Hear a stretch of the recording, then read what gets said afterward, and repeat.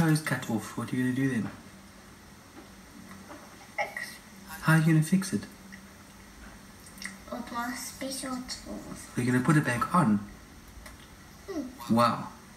And if someone loses their head, can you put it back on?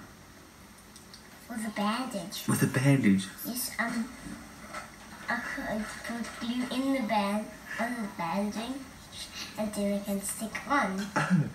And